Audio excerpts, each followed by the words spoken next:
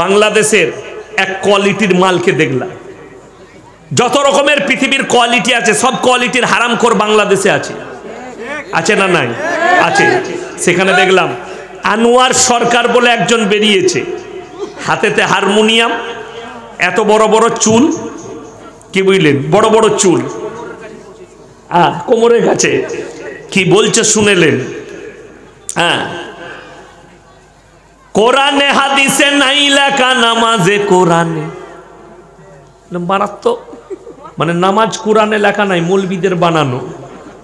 শুধু তাই নয়, বলছে বাবা, মৌলবিরা জানে না, গাঁজা খাওয়া হারাম, আল্লাহ সৃষ্টি সত্যি গাছে। তাইলে হারাম কেন হবে? এমন দারুণ গান করছে। আর বাংলাদেশের লোকরা বলছে শালা হারাম খোরগুলো জুটেছে ভালো। মাল যেমনি, যেমন রু তেমন ফেরেস্তা যত রকমের হারাম আছে। হিজবুত তৌহিদ বলে একটা দল বেরিয়েছে বাংলাদেশে। সে মালের দাড়ি ফাড়ি নাই। তাকে জিজ্ঞেস করছে, মিডিয়াওয়ালারা, আপনি দাড়ি রাখেন না কেন? বললে, শয়তান মৌলবিরা দাড়ি রাখে বলে আমি দাড়ি রাখি না। আমরা মৌলবিরা শয়তান। এই মৌলবি কটা শয়তান? কত বড় কষ্ট লাগে। তাদেরকে জুতো মারার লোক নাই। বড় কষ্ট লাগল। তাদের ভাষা শুনে শুধু তাই নয়, বাংলাদেশের জিকির শুনেছেন কেউ যদি কোনো, আরে ওটা তো ভালো হয়ে গেল তাও। কেউ যদি বলে সুভান আল্লাহ ফটাম করে দেখছি এই মুড়ো থেকে ঝাম মেরে ওইদিকে চলে গেল। আমাদের দেশে আড়াগাড়ি দেখেছেন আড়াগাড়ি? আড়াগাড়ি জানেন না আপনারা? বলি। দেখবেন, যারা চাষিবাসী লোক জানে, আমরা ছোটবেলায় মাঠেতে গিয়ে ড্রেনে পানি যেত। ওইখানে পাশে একটা খাল করে গার্ড দিয়ে দিতাম, তার পাশ দিয়ে আর মাছগুলো লাপিয়ে ঝপ ঝপ, গর্তই পড়তো। ঠিক ওই রকম। যখনই বলছে সুভান আল্লাহ তখন স্টেজের নিচে থেকে ঝাম মেরে হুজুরের ওপর দিয়ে গিয়ে ওই দিকে মাল পড়ছে। আল্লাহ, এ জিকির তো জীবনে শুনি নাই। আমি বললে অনেকজন গালি দেবে। আমার ভাই একজন লিখেছে, হুজুর, বাংলাদেশের ছেলে, এই পীরের সম্পর্কে আপনার জ্ঞান নাই, ভালো করে পড়াশোনা করবেন, ইনি খুব ভালো মানুষ। আমি বললাম, তাহলে তো তিনি বলতে পারেন যে, বাবা, আমি সুভান আল্লাহ বললে লাপাতে নাই, যে লাপাচ্ছে তার হাত পাগুলো বেঁধে পাচাটা ফাটিয়ে দে। কি বলছেন? এক্ষুনি যদি কেউ লাভ মারে, আমি এক্ষুনি কমিটি ছেলেকে বলব, শালাকে ধর, ধরে পাগলখানায় ভরে আয়। লাভ মারা ওইভাবে নয়। জিকির, আমি ওটাই আপনাদেরকে বুঝাবো। আল্লাহকে পাওয়া এমনি যাই না। আমাদের দেশে কি বুঝলেন? ভাইয়ের সম্পত্তি মেরে খাচ্ছে আর কালিয়াচক বাজারে দেখতে পাবেন, রাস্তায় তসবি করে যাচ্ছে। হাতে তসবি। তাকে ঝাঁটা জুতো মারার লোক নাই। বে, তসবিটা মসজিদের ভেতরে করবি। ওটা বাজারে নয়। তসবি বাজারে করার জায়গা নয়। বাজার, যদি ভালো জিনিস দেখো, সুন্দর জিনিস দেখো, একটা বড়, এত বড় পেয়ারা দেখেছ মাশাল্লাহ আলহামদুলিল্লাহ, কত বড় পেয়ারা। বড় মাছ দেখতে পেলে সুবহান আল্লাহ কত বড় মাছ। যদি একটা নোংরা মেয়ে, নোংরা পোশাক পরে যায় আস্তাক ফিরুল্লাহ আস্তাক ফিরুল্লাহ নাউজবিল্লা বলে চেহারা, ঘুরিয়ে নাও। এটা হচ্ছে বাজারের জিকির। আর আমাদের দেশের কিছু শিয়াল পণ্ডিত আছে, মৌলবীরা জিকির জানে না বে? রাস্তায় তসবিটা হাতে করে ঝুলিয়ে লোককে দেখাচ্ছে। আর আমি চ্যালেঞ্জ ছুড়ে বললাম, ওই কালিয়াচক বাজারে যারা তসবি হাতে করে ঘুরবে, ওই মালটাই ডুপ্লিসিটি গোলমাল। কখনো ওই জায়গাটা তসবি করার নয়। যেমন আপনাকে বলি, পাথর চাবড়িতে আপনি যদি মাজারে যান, দিনের বেলায় দেখতে পাবেন পাঁচশো দানার তসবি। আর তারা বসে করছে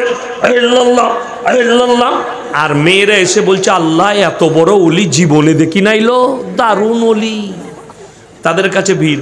আর রাতের বেলায় যদি যান, গাঁজার টান মেরে তসবি একদিকে, জুব্বা একদিকে আন্ডার প্যান একদিকে, সে পড়ে আছে একদিকে। এটা আমি বাস্তব বলছি, খোঁজ দেন গাঁজার আসর বসে, মদের আসর বসে। আমি একটা জলসাই বীরভূমে পাথর চাবড়ির পাশে বলে এসেছি। কি জানেন? সত্য ঘটনা শুনে যান। পশ্চিমবাংলার যতগুলো ছেলে লোকের বউকে নিয়ে পালায়, মেয়ে নিয়ে পালায়, সবাই পাথর চাবড়িতে যায়। ঘর ভাড়া পাওয়া যায়। তাহলে ওটা জিনা করার আড্ডাখানা তৈরি করেছ। বড় কষ্ট লাগে। শুধু তাই নয়, আমার কাছে পুরুপ আছে। যদি কেউ প্রমাণ নিতে চান, আমার মাদ্রাসায় চলুন। আমি প্রমাণ দেবো আপনাকে। ওই পাথর চাবড়িতে কিছু মেয়ে চলে যায় যারা দেহ ব্যবসা পর্যন্ত করে। বড় কষ্ট লাগে। আল্লাহর অলি শুয়ে আছে। সেখানে এত ভালো কাজ হচ্ছে বলছো। এক নম্বর কথা, দ্বিতীয় নম্বর, মাজার হচ্ছে। যেখানে ছেলে মেয়ে এক কাছে হবে।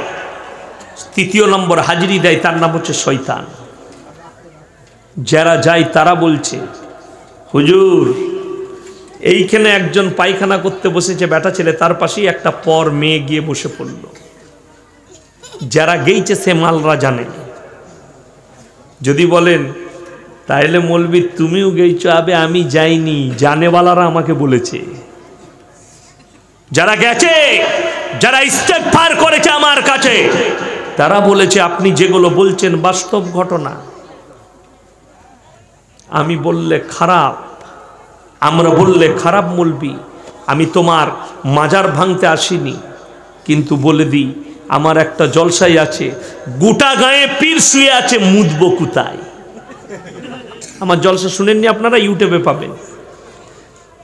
বীরভূমের রিজওয়ান ভাই ছেড়েছে, বড় ইউটিউবার। তো আমার এলাকায় যে গ্রামটাই আছে, তারা বাজারে বলছে, আমরা জানি না কাকে বলেছে। আমরা বে ভাঙ্গাতা। শুনেলে নতুন বিয়ে হয়েছে, আট মোংলা করতে গেছে। আপনারা কি বলেন? আট মোংলা বলেন নাকি? আট মোংলা। আট মোংলা করতে গেছে। গিয়ে রাতের বেলায় পিসাব লেগেছে জামাইকে। বাড়িতে পিসাবখানা নাই। সে তখন বউকে বলছে পিসাব কোথায় করব? তোমাদের এগনেই করে দিয়ে ওই কোনটাই? বলে, না, ওইখানে একটা পীর শুয়ে আছে। করা যাবে না না। তাহলে কোথায় করব? তাহলে পুকুরের পাড়ে করি বলে, না, ওইখানেও একটা শুয়ে আছে। খামার খামার বুঝেন? খামার মানে যেখানে ধান ফান ঝাড়ে, আমাদের ওখানে খামার বলে। বলে, ওইখানে করি? বলে, না, খামারের কোনটাই একজন শুয়ে আছে। বললে, তাহলে আমি মাঠে করে আসি। বলে, না, ওইখানে তো আবার একজন বুড়ো পীর শুয়ে আছে। এই রাতের বেলায় জামা কাপড় গুটিয়ে বলে শালার গায়ে থাকবই না, গোটা গায়ে পীর শুয়ে আছে, শালা মুদবো কোথায় রে? ও পালিয়ে গেল। এই হচ্ছে আমাদের দেশের হাল। ঘরের মেঝেই একটা, এগনেই একটা, বাইরে একটা, পুকুরের পাড়ে একটা, অমুক জায়গায় একটা। আমি যদি মিথ্যা বলি, আমার আব্বাজিকে যদি কোনোদিন পান, জিজ্ঞেস করবেন, আপনার ছেলে বলে গেছে। আমার এলাকায় পিস সাহেব মারা গেছে পিস সাহেবের মাজার হয়েছে। তার ওরস হয়, তার বাড়িতে যে কুকুরটা ছিল, সেটা মরে গেছে, তারও দাপন করে, তারও মাজার করেছে, তারও ওরস করে। চলে বলুন নাউজবিল্লা এটা আমি সত্য ঘটনা বললাম আপনাদেরকে, মিথ্যা নয়, বানানো নয়। শুধু তাই নয়, অবাক হয়ে যাবেন, ভালো ভালো ঘরের মেয়েরা সেখানে গিয়ে গড়াগড়ি মারছে, অথচ জীবনে নামাজ পড়ে না, জীবনে রোজা রাখে না। তার একটাই কথা জানে, জীবনে ইবাদতের প্রয়োজন নেই, একমাত্র এই পীররাই আমাদিকে পার করিয়ে নিয়ে যাবে। এই পীররাই একমাত্র জান্নাতে নিয়ে যাবে। তারা কান খুলে শুনেন, আমি একটা নয়, পাঁচটা দৃষ্টান্ত দেবো পাইগাম্বারের। কটা বললাম? পাঁচটা। এক নম্বরই আমার নবী, বিশ্ব নবী, জানাবে মোহাম্মদুর রসুল আল্লাহ সকলে বলুন সাল্লাল্লাহু আলাইহি ওয়াসাল্লাম। আমার নবী, বিশ্ব নবী সাহাবীদিকে শুনেলেন, আমার নবী নিজের চাচা জানকে বলছেন, ওগো চাচা, একবার বলুন, লা ইলাহা ইল্লাল্লাহ।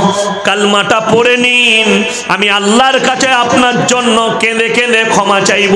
আল্লাহর নবীর চাচা জান বললেন, আমি যদি বার্ধক্যে কলমা পড়ি, লোকে বলবে, মৃত্যু ভয়ে কলমা পড়েছে, তাই আমি কলমা পড়তে পারব না।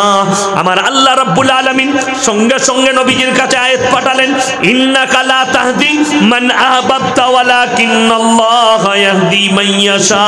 হে আমার বিশ্ব নবী, হিদায়েতের মালিক হচ্ছি একমাত্র আমি আল্লাহ। হিদায়েতের দপ্তরটা আমার হাতে। তুমি যদি ইচ্ছা করো, তোমার চাচাকে কলমা পড়াতে পারবে না। আমার ইচ্ছা নেই তাই তোমার চাচা কলমা পড়বে না। নবীজি চোখেতে পানি, এরপরে ডিসকাস করুন, আল্লাহর হাবিব আলাইহি সাল্লাম ওই ভণ্ডদিকে বলছি, ভণ্ড পীরের মুরিদটিকে বলছি, শোনো, আমি কখনো তোমার হকপন্থী আলেমের বিরুদ্ধে নই। যারা হক্কানি হবে, কোন দলের জানি না, যারা হক কথা বলবে, আমি তার পক্ষে আছি। কিন্তু ভণ্ড পীরের কথা বলছি ভালো পীরের নয়। আমার জন্যে হুগলিতে জলসা করতে গেছি। কমিটির একজন যুবক বলল যে, হুজুর, আমাদের কাছে পাঁচটা পীরের ফোন এসছে। তোমরা যে মালকে দাওয়াত দিয়েছ, তারা তো আমাকে আঁক ছিলার মতো আমাদিকে ছিলবে। ওকে সাবধান করবে। আমি বললাম, বাবা, দশ পনেরোটা ছেলে বসেছিল মসজিদে। আমি বললাম যিনারা ফোন করেছেন, তিনারা ভালো পীর না ভণ্ড পীর? বললে, হুজুর, ভালো। আমি তাহলে তো আমি তো ভণ্ড পীরের বিরুদ্ধে বলি, তাদের গায়ে লাগার কাজ নাই। তারা বলে হ্যাঁ হ্যাঁ একদম ঠিক। আমি তাহলে যদি সে ভণ্ড হয়, তাহলে আমি জলসাই করব না, চলে যাব। আর সে যদি বলে, আমি ভালো, আমি ভণ্ড পীরের বিরুদ্ধে বলব, তাদের আখলাখ চরিত্র বলব, এটা যদি তার মধ্যে থাকে, তাকে পরিবর্তন করতে হবে। আমি তার বিরুদ্ধে নয়। আমার ভাইয়েরা এটা এক নম্বর গেল। আমার নবী বিশ্ব নবী নিজের চাচাকে কলমা পড়াতে পারেননি। এরপরে ডিসকাস করুন, আমাদের মতো ফুটো মলবিরা, এই ভণ্ড পীররা তোমাদিকে বিনা নামাজে, বিনা রুজাতে গাঁজার মদ খেয়ে পড়ে থাকো, কেমন করে জান্নাতে নিয়ে যাবে? এটা এক নম্বর গেল। এটা আমি পৃথিবীর শ্রেষ্ঠ পাইগম্বরের কথা বললাম। আল্লাহর হাবিব শ্রেষ্ঠ না শ্রেষ্ঠ নয় বাবা? শুধু শ্রেষ্ঠ নয়, তিনি হচ্ছেন ইমামুল আম্বিয়া। তিনি কি বললাম? কথা বলুন। ইমামুল আম্বিয়া। এমন ইমামুল আম্বিয়া কেন বলা হয়? নবীজির সামনে নবীরা কোনো নবী বেঁচে ছিলেন? নবীজির জামানায় কথা বলে না। কেউ ছিলেন না। তাহলে ইমামুল আম্বিয়া হলেন কি করে? ইমাম মানে হচ্ছে নবীজির পেছনে সেই সাহাবিদিকে, সেই নবীদিকে নামাজ পড়তে হবে। হ্যাঁ! সকলে নামাজ পড়েছেন। সেই রাত্রিটা হচ্ছে মেরাজের রাত্রিতে। বাইতুল মুকাদ্দাসে নবীজি ইমামতি করেছেন, সমস্ত নবী পাইগাম্বাররা নবীজির পেছনে নামাজ আদায় করেছেন। সকলে জোরে বলুন সুবাহান এটা আমার আল্লাহ চাইলে সম্ভব কি সম্ভব নয়? সম্ভব। এটা নবীদের জন্য সম্ভব। আমাদের দেশের কিছু ভণ্ড আছে, এটা দলিল দেয়। যাই দেখো, নবীরা নামাজ পড়ল, তাহলে আমাদের পীররা কেন? কবরে বেঁচে থাকবে না। কথাটা বুঝতে পারেননি? তাহলে পীরের কাছে যদি চাওয়া যায়, তাহলে অবশ্যই পাওয়া যায়। আমার ভাইয়েরাম আমার মায়েরা, বোনেরা, শোনো, আমার আল্লাহ রব্বুল আলমিন, এরপরে চলুন সুরায়ে বাকারা, একদম দ্বিতীয় পৃষ্ঠা, আমার আল্লাহ রব্বুল আলমিন কোরআনে বললেন, ইন্নাল্লাযীনা কাফারু সাওয়াউন আলাইহিম আনজারতাহুম আম লাম তুনজিরুহুম লা ইউমিনুন। হে আমার বিশ্ব নবী তুমি যত কোরআন শোনাবে শোনাও, যত বুঝাবে বুঝাও, কিন্তু কান খুলে শুনে নাও, পৃথিবীর মানুষকে বলে দাও, হৃদায়তের দপ্তরটা আমার হাতে। তুমি যত শোনাবে, শোনাও। কিন্তু যারা বেঈমান কাপের হবে, যারা মানান নয়, তারা কখনো মেনে নিবে না। নবীজি সাল্লাহ আলি সাল্লাম নিজের চাচা জানকে কলমা পড়াতে পারেননি। হাজিরাতে নুহ নবী নিজের ছেলেকে, নিজের বিবিকে কলমা পড়াতে পারেননি। হাজরাতে লুত নবী তার বিবিকে কলমা পড়াতে পারেননি। হাজরাতে ইব্রাহিম নবী নিজের আব্বাজানকে কালমা পড়াতে পারেননি। আর তুমি ভণ্ড গাঁজাখোর পীর তোমাকে জান্নাতে নিয়ে যাবে। আবে পীরও ঝাঁটা জুতো খাবে আর তু ঝাঁটা জুতো খাবি। কেমতের দিনে আমার ভাই, এটা এক নম্বর শুনালাম। দূর থেকে একটা লোক মনে করছে এটা মায়ের লোক নৌকাতে বসে আছে। তুমি কইছে, ও মাই ঝ্যান হ্যাঁ ক- কইছে, আরে ভাই, আমি মায়ের ঝ্যান লই। কইছে তাহলে কি, তুমি মাঝি? কইছে, না রে ভাই, আমি মাই ঝ্যান লই আমি মাঝিও লই আমি মাঝা মাঝি। হ্যাঁ তো ওরকম আমি কই দিচ্ছি মাঝা মাঝি, আড়াই হাজার টাকা। জান হ্যাঁ? না রে করেন। রাখেন না কাছে আশা রাখেন, আল্লাহ সব পুরো করে দিবে হ্যাঁ? আড়াই টাকা ভারী কইছেন? এখানে বেটির বিয়ে লাগলে পাঁচ লাখের ভারী হলো না? সুবহান আল্লাহ তখন ব্যাটার বিয়েতে খালি গাড়ির ডেকোরেশনটা করতে তখন আপনি দিবেন বিশ হাজার টাকা। বারাকাল্লাহ হায়াকাল্লাহ আল্লাহুম্মা আনতা সালামিন কা সালাম। তাবারাকতা ইয়া দাল জালাল ওয়াল ইকরাম। রব্বানা আতিনা ফিদ দুনিয়া ওয়া ফিল আখিরাতি ওয়া কিনা আযাবান নার। রব্বানা ইমরান? ইমরান পানিওয়ালা। আচ্ছা এক নতুন ফ্যাক্টরি দোয়া করে দেবো। হ্যাঁ ভাই মানুষ খাসতে গেছে, আমিও তা- তাড়াহুড়ো করে ছেড়ে দেবো। ব্যাপার হলো আপনার কাছে একদিন আমার প্রত্যেক রাত হ্যাঁ? এক তো জায়গা উপর থেকে দেখেন দু ঘণ্টা পেরিয়ে গেছে, আড়াই ঘন্টাতে চলছি। আমি আপনাদের কাছে একটু তাড়াতাড়ি বলব। হ্যাঁ ভাই, পানিওয়ালা ভাই, আপনারা আইসেন হ্যাঁ? আর এদিকে মিস্ত্রি সাহেব, আপনি আইসেন? হ্যাঁ? লিখে দিয়েছে, জাজাকাল্লাহ, বারাকাল্লাহ, হাইয়াকাল্লাহ। খুশি হলাম, আল্লাহ ভালো রাখুক, সুখে রাখুক। বন্ধুরা আমার, তো বলছিলাম, ফারাক্কা থেকে দুটা লোক ছাই নিয়ে গেছে কাটিহার, আর ওই বাকিটা করে যে তুলে দিয়েছে জিসিবিতে ছাই, ওর সাথে দুটা একবারে বড় বড় গহমা সাপ। বস, তুইলে কখন দিয়ে সত্যি? বড় বড় দুটো গহমন সাপ। আপনার এই ফারাক্কাতে ক- কখন গাড়িতে দিয়ে দিয়েছে? হাঁপারে, ওই প্যাক করে একবারে নিয়ে চলে গেছে কাটিহার। কাটিহার লালবাগে নামাইতে গেছে এবারে খুলতে কোন হিসেবে যে ওই লোকটাকে কামড়ে নিয়েছে কিন্তু আপনার এলাকার মানুষের সাহস আছে আপনার এলাকার মানুষের সাহস আছে করেছে কি জানেন? দুটাই সাপকে ধরেছে ধরে একটা বালতিতে বন করেছে।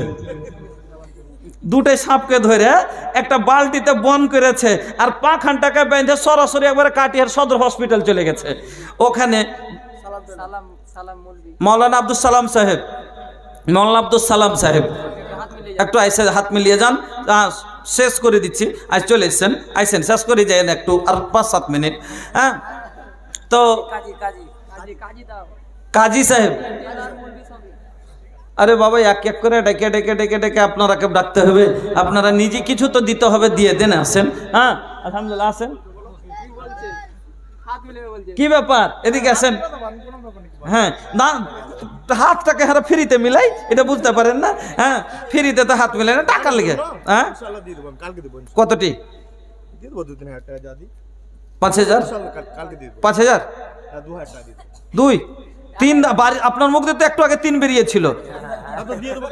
না রে তাকবীর। জাযাকাল্লাহ বারাকাল্লাহ হায়াকাল্লাহ তিন হাজার টাকা। আলহামদুলিল্লাহ। এরকম খুশ মেজাজে আসেন আল্লাহ আপনাকে খুশ মেজাজ করে রাখবে হ্যাঁ? লোকটা করেছে কি? ওকে মিডিয়াওয়ালা জিজ্ঞেস করছে ডাক্তারেরাও অবাক যে তুই সাপ কেন ধরে নিয়ে আলি তোকে কামড়েছে হসপিটালে এটা ভালো কথা। কিন্তু তুই সাপ কেন ধরে লিখছিস কইছে, আমি সাপ না নিয়ে আসব তো তুই যদি কবি যে কোন সাপে না কোন সাপে কামড়েছে তখন তুই খালি বারবার তুই ফতুয়া জিজ্ঞাসা করবি যে, সাপটা কীরকম ছিল? সাপটাতে কামড়ালছে তো বিষেছে কিনা? রক্ত বার হালছিল কিনা? এইরকম জিজ্ঞেস করবি, তো তুই নিজের চোখে দেখেলে যে কোন সাপে কামড়ালছে? হ্যাঁ? দিয়া মিডিয়াওয়ালা এমন করে দিচ্ছে আর সব হাসছে দেখে। কিন্তু আজীব মানুষ লয় কহে তো, ওর কাছে মানে হিন্দি হইনে বলছে যে আপ কাহা সে হ্যাঁ কাছে ফারাক্কা সে হ্যাঁ? তো ক্যা করনে আয়ে থে यहाँ कटिहार कुछ वो ये रोड का जो काम चल रहा है ना तो लाल बाग में छाई लेके आए थे तो छाई तो और हिंदी ते हरा बोली ना हमरा राख बोली हिंदी ते ओके हाँ तो राख लेके आए थे तो মানুষ বাবারা তখন হাসছে হ্যাঁ, যে হিন্দি হয় না তখন ছাই সিনে হাসছে জি ছাই কি জিনিস হ্যাঁ তো ছাই রাখ লেকে আয়ে থে হ্যাঁ বলছে ও তোমার মধ্যে কেউ বাংলা বুঝতে পারছে কিনা তুমি ও আরে রাখ লেকে আয়া থা রাখ রাখ বলছে ও রাখ কে আন্দার থা সাপ ইস तरह তো এইরকম আপনারা তাহলে সাহসী লোক গো যে সাপকে ধরে বন করে নিতে পারেন আচ্ছা আলহামদুলিল্লাহ এদিক তো শেষ? সারোয়ার জাহানের মা। সারোয়ার জাহানের মা? হ্যাঁ তো ভাই মহিলা মানুষ ওনারা তো আর দাঁড়াতে পারবেন না। হ্যাঁ হ্যাঁ আমি বলছিলাম সারোয়ার জাহানের মা হাসছে। কতটি করব? কতটি? পাঁচ হাজার? খালা? পাঁচ হাজার। কে হাত তুলবেন রাজি থাকলে। আমি তো আচ্ছা ও মহিলাটা দাঁড়িয়ে আছে জন্য দেখতে পাওয়া যায় না। আচ্ছা বলছে আচ্ছা আপনি যান না কি বলছেন? পাঞ্জরে যান। আমার মা খালাকে বলি। আচ্ছা কোনো মা খালা পা- পারবেন? এক বেশি লয় ওর পাঁচ হাজার দশ হাজার না, আমি আপনার কাছে চেয়ে বিরক্ত করতে পারব না। এক হাজার দু হাজার করে দু চারটে লোক আমার মাখালা কেউ দিতে পারবেন? একটু বলেন। বলেন বলেন তাড়াতাড়ি বলেন। আলহামদুলিল্লাহ। কোনো মা এক হাজার টাকা কোনো বোন যে আমি দেবো হাত তুলবেন। যে আমি দেবো এক হাজার টাকা। দুদিন চার দিন দশ দিনে দিবেন। আব্দুল বাড়ি রাস্তায় দাঁড়িয়ে আছে। আব্দুল বারি সাহেব আসেন দেখা করেন। কত কত? দুই? দুই হাজার। জাজাকাল্লাহ জাজাকাল্লাহ আল্লাহ হিন্না। আল্লাহ আল্লাহ তুমি কবুল করো সুখে জীবন দান করো। আমিন আল্লাহুম্মা আমিন। আ? না না। হ্যাঁ আমি বলতে চলেন আলহামদুলিল্লাহ। আসেন মাখালা আপনারা একটু তাড়াতাড়ি বলবেন এদিক থেকে আপনারা কে বলেন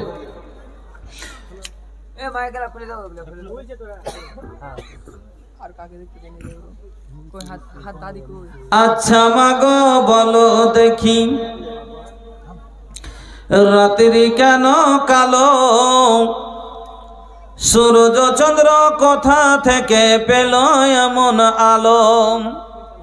ফুলগুলি সব নানা রঙের কেমন করে হয়? লতাগুলো সবুজ কেন ফুলের মতো নয়? দুধ কেন মা এত সাদা? মরিচ কেন ঝাল? আমগুলো সব পাকলে পারে হয় কেন মা লাল চিনি কেন এত মিষ্টি? তেতল কেন টক?